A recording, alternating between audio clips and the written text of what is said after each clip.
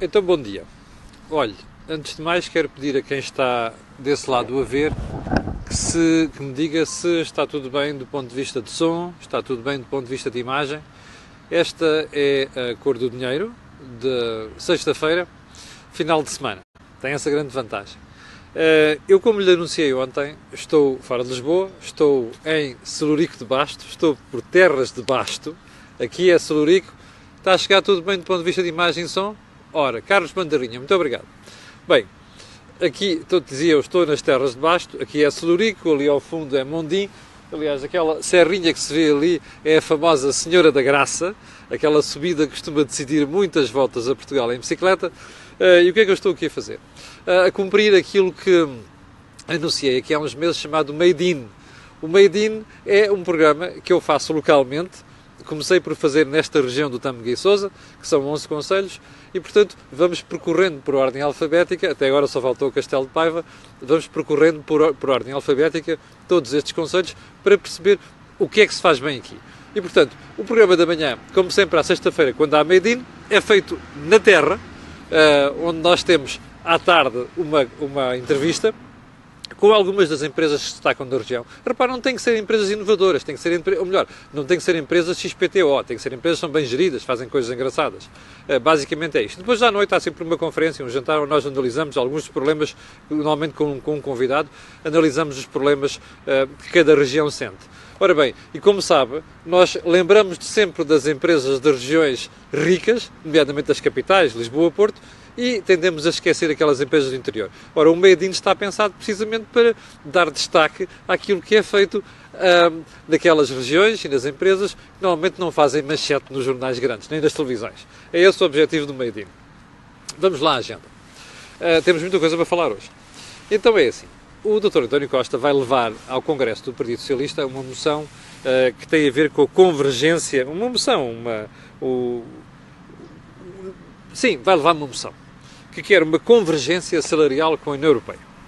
Isto é o período notório do dia. Uh, o que é que eu tenho a dizer sobre isto? Uh, quando se aproximam congressos, eleições, normalmente solta-se a imaginação. E a imaginação é uma coisa muito importante, mas a imaginação tem que ter alguma ligação à realidade. Ora bem, é bom não esquecer, ou melhor, é bom não prometer estas coisas a ninguém, nomeadamente aos portugueses, que é as convergências salariais só se fazem quando nós criamos produtividade, quando nós mudamos a nossa forma de trabalhar, de maneira que melhoremos a produtividade. Porque não há convergência salarial sem produtividade. E, portanto, o Dr. Costa pode dizer que vai estar preocupado com a convergência salarial, que vai mexer no salário mínimo, não sei das quantas. Pode dizer o que quiser, como se fosse um líder do PST ou do CDS, podiam dizer a mesma coisa. Isto nunca tem adesão à realidade, a menos que nós consigamos que a economia seja mais produtiva. Este é o aspecto base de tudo isto. Bem, vamos então à agenda. Vamos começar por aqui. Uh, o Governo decidiu financiar, através do Inatel, uh, férias a portugueses de baixos recursos.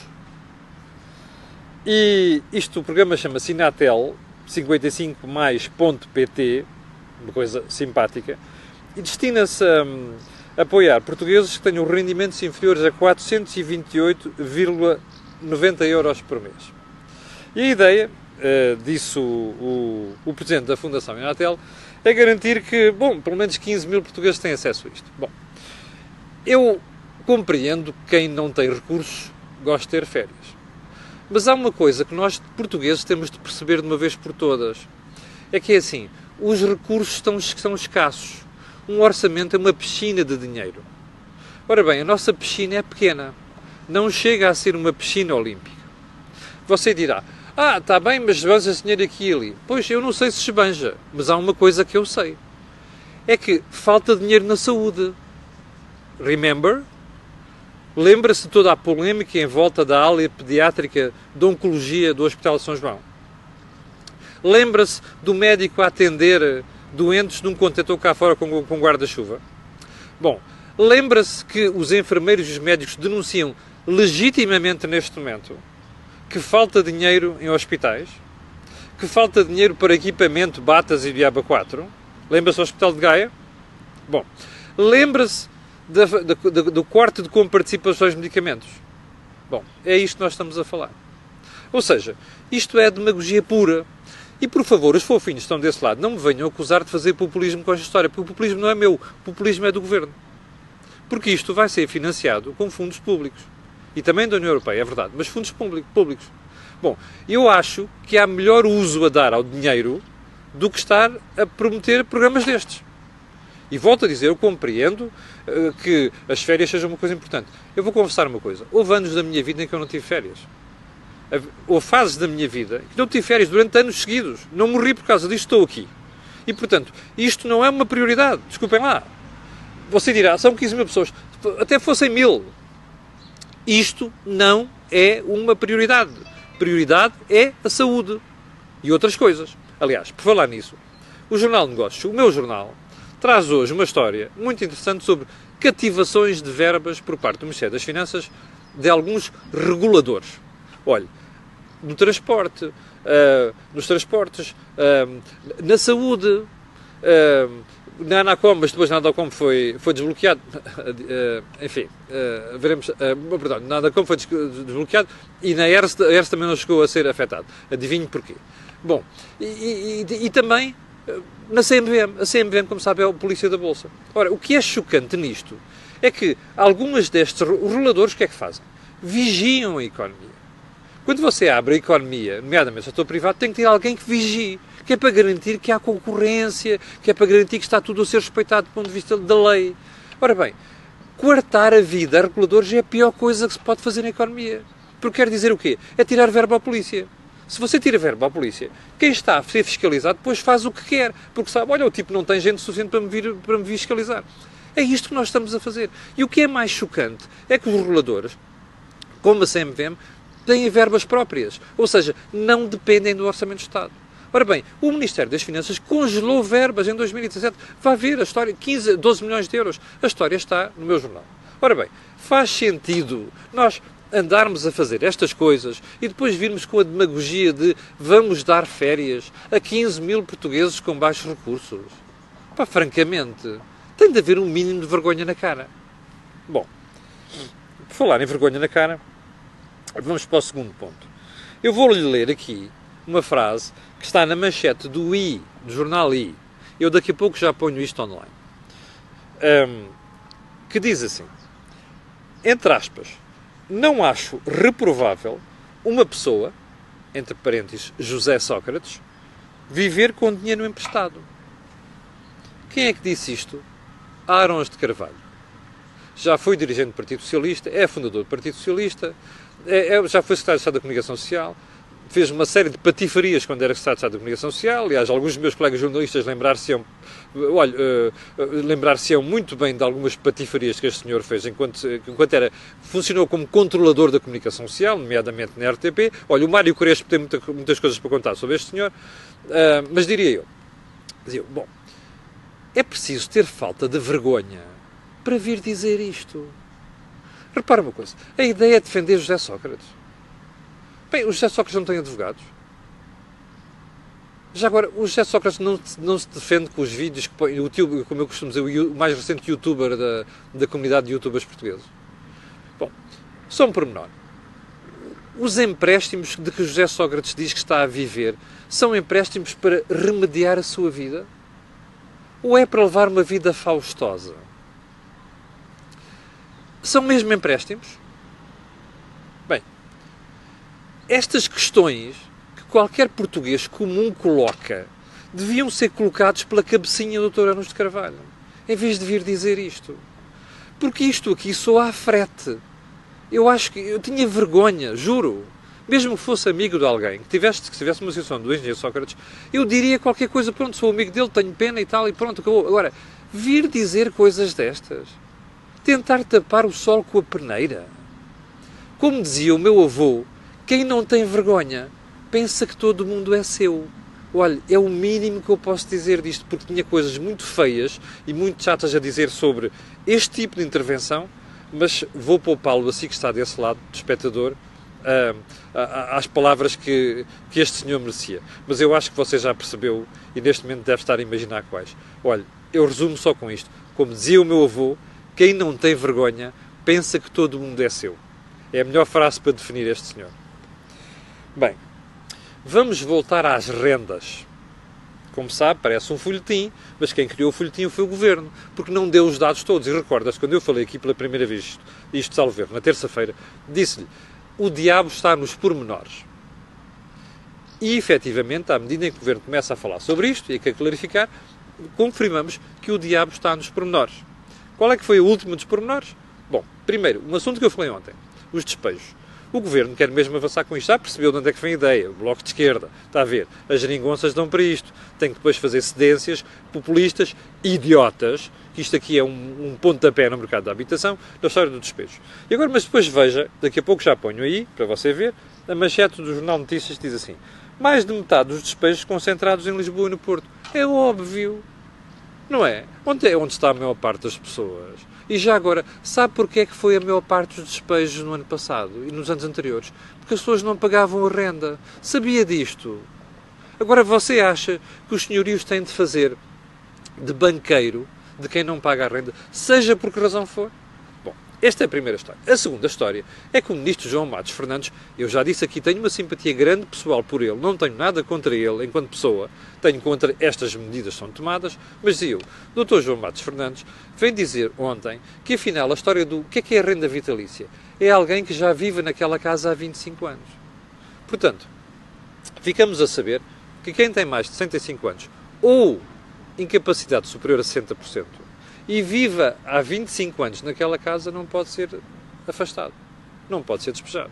Bom, para quem tem a renda feita a partir de 1990, faz-se uma atualização normal. Para quem tem a renda aquilo, anterior àquilo que se chama Novo Regime de Arrendamento Urbano, NRAU, que é uh, de 1990, quem está para trás, a atualização só pode corresponder a um 15 avos daquilo que é o valor patrimonial do imóvel. Ora bem, uh, a única questão que eu coloco aqui um, é quantas pessoas é que vão ser abrangidas por isto? São centenas de milhares? São dezenas de milhares? É por isso é que eu falei nos pormenores. O diabo está nos pormenores. Sabe porquê é que o diabo está nos pormenores? Uma razão muito simples. Imagine você que afinal não há assim tanta gente afetada por isto. Você dirá, ah, então está a ver, isto foi uma medida do governo só para fazer figura. Claro, para ganhar eleições, não é?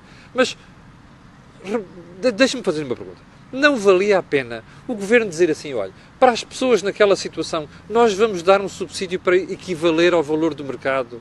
E repare, não se prejudica o mercado da habitação. Eu já lhe expliquei aqui: o problema da habitação em Portugal é um problema de oferta.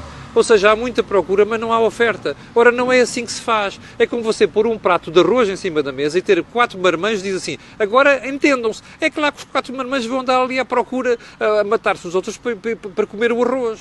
Ora bem, o problema não é um prato de arroz, é criar condições para haver mais de um prato de arroz, está a ver? Aqui é a mesma coisa. Na, na, na, habitação. Ora, é isto que o Governo devia estar a fazer, em vez de com estas macacadas autênticas, que é começar a limitar aqui, começar a limitar aqui. Isto não resolve nada. É apenas o resultado do populismo e para ganhar eleições. Ora, isto prejudica o mercado do, do arrendamento, prejudica o mercado da habitação. E nós precisamos que daqui a 10 anos Portugal esteja completamente diferente. E já agora, por causa da história do rendimento local. Outra história do, da, da, da habitação e das limitações que vêm aí. Você sabe que a esmagadora maioria dos prédios, dos edifícios que foram recuperados e postos do rendimento local, nomeadamente em Lisboa, mais de 50% estavam devolutos. Sabe disto? Está a ver? Está a ver onde é que chega a demagogia do Bloco de Esquerda, do PCP e do Partido Socialista?